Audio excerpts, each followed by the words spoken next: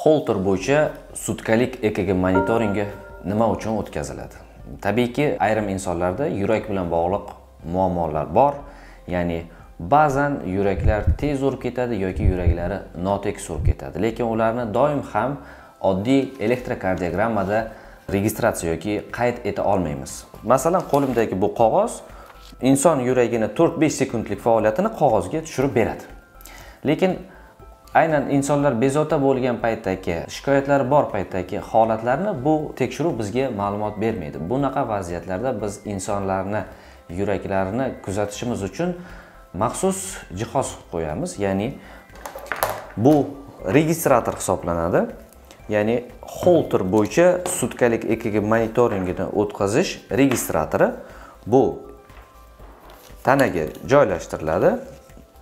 Hamda ekg qayd etadigan o'zini simlari bor. Bular yordamida ushbu registrator yig'adi ya'ni inson ovqatlanganda jismoniy mashqlarni bajarganda uyquda ertalab uyg'onganda qanaqangi har kungi faoliyati bo'ladigan bo'lsa ularni hammasini bajarganda nimalar sodir bo'lishini shu jihoz qayd etib boradi va uni mutaxassis kompyuterga joylashtirib uni analiz qilib kardiolog o'ziga kerakli bo'lgan xulosani ola oladi. Bugungi kunda e, barcha texnologiyalar rivojlangan.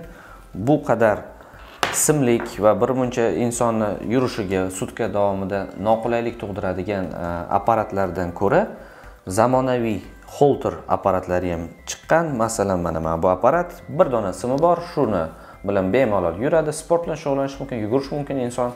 Hamda sutkadan keyin mutaxassis budan ma'lumotlarni bemalol e, kompyuterga joylashtirib uni o'zimizga kerakli bo'lgan ma'lumotlarni ola olamiz va hattoki fleshka kattaligidagi ushbu holterlarimiz ham mavjud.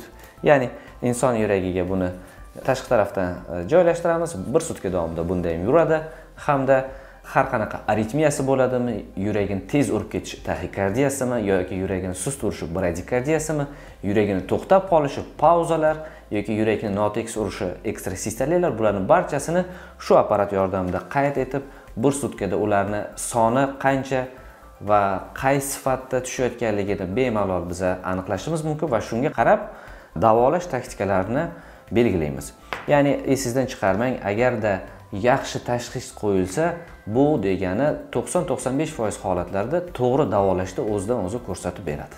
Sog' bo'ling bizni kuzatishda davom eting.